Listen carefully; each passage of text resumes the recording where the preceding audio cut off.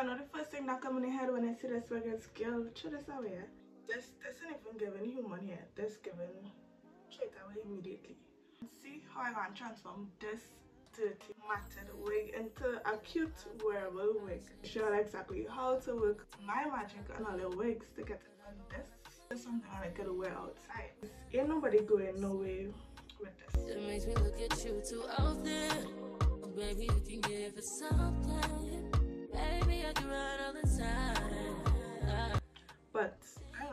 This wig away. This been through so many hard times with me and I'm gonna give up on it just can't fix it. I'm show you exactly how to fix up your wig to make it look like mine. I like this right now, I'm gonna finish it. Okay, so now I make this complicated, we can only use things that we have at home and these are the things that I use. So the first product that you would need is an anti-breakage leave-in conditioner. You must have this home. Then a regular replenishing conditioner. I use in the olive oil one. You could use any conditioner, it really doesn't matter. The Haley Secret Potion. This is the 3-in-1 daily moisturizer, hair repairer, and steam treatment. Then you would need two brushes. Both of them is detangling brushes. This one here, I find this one looks much better, but I use this the hair get dry. This one I use when the hair was wet. Some oil, you can use any oil you want. I use castor oil and rosemary water. So this is the wig that I'm currently working with, y'all. The wig is over bleached. It's very nutty. It's just crusty looking on the whole. So you wanna get a old pot that big enough to hold the wig. You fill it up with water and you put it in to boil. Before the water even starts to boil, when I put some conditioner in it. This is the amount of conditioner I put, and then I put like two finger scoops or whatever of leave-in conditioner mix it up that is how much products I use for my wig. If you know your wig in worse condition than mine then I recommend putting more leave-in conditioner. Let the water boil. Put your wig inside of the water. You can turn off the stove at this point because you know you really want to overcook your wig. Okay so what I did and what I recommend that you do too is as soon as you put in your wig you take up the stove and you leave your wig soaking for like about 15 minutes. I did 15 minutes before i come out but before you do that you would want to make sure that your whole wig under the water and soaking up the conditioner y'all anyway so throughout the 15 minutes you want to keep coming and checking in on your wig. The water is looking a little dirty because i didn't wash the wig previously but that's besides the point okay so after I leave the wig to soak for 50 minutes you want to take the wig out and you want to comb out well brush out the wig from the bottom to the top if you try to do it from the top to the bottom you'll lose a lot of hair while brushing it out you want to keep adding product into here. I was adding the conditioner instead of the leave-in conditioner just cause I feel like if that was softening the hair much more than the leave-in conditioner also, please do not attempt to use a regular brush to comb out the hair. That will make your hair get super frizzy. Get a detangling brush and comb it out. You can get in Pennywise for like between $13 and $30. The next step is to wash out your wig with warm or hot water.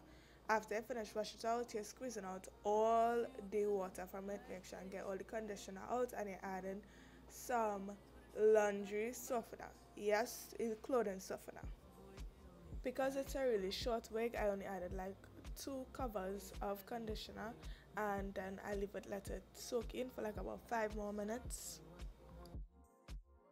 Anyways yo, so i put on next time for like five minutes for the hair to soak into the conditioner not the conditioner but the clothes softener to soak into the hair the hair already looking good it's already looking soft and nice it's coming out so gorgeous already. I can't wait to put it back on. I told y'all i was to eat and i even finished it. I said after moisturize the hair comb it out and do all of that.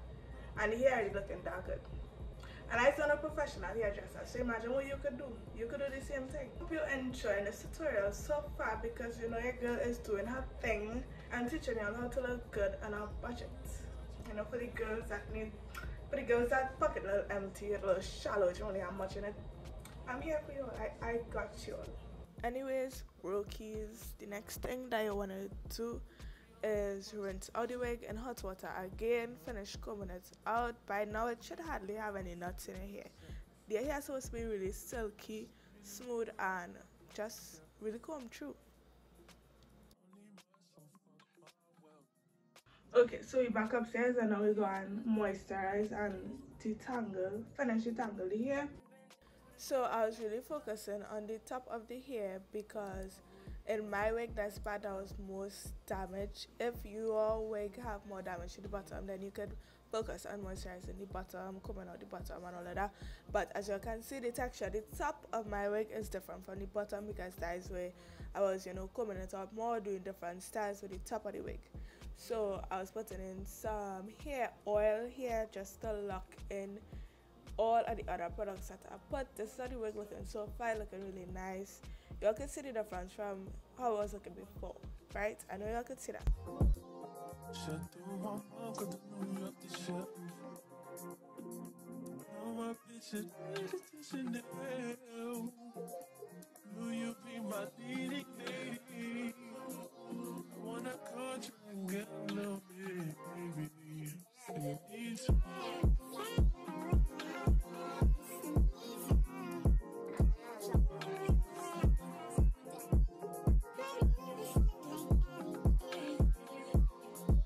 Okay so i'm now done moisturize the hair and detangle it brush it out everything.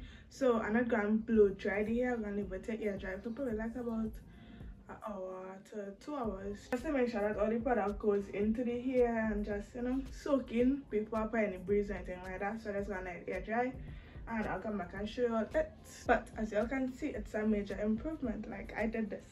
Now the hair could brush you know and it's actually looking wavy looking curly it's not looking frizzy and just you know nasty. So yeah while i air dry and i'll come back and I'll show you oh yeah and this is optional but i like to use it. It is some fabric softener.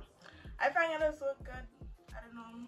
I have mixed reviews on it but i nobody ever tell me to use this.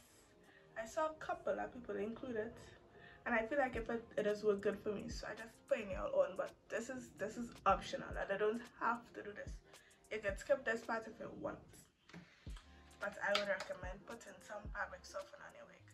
Look at this. This hair is smelling so good and nice and curly. It like the wig bounce back it comes it's giving very much Brazilian. And it didn't even finish dry yet. So imagine when it fully dry so much better. You want your wig to look like this I know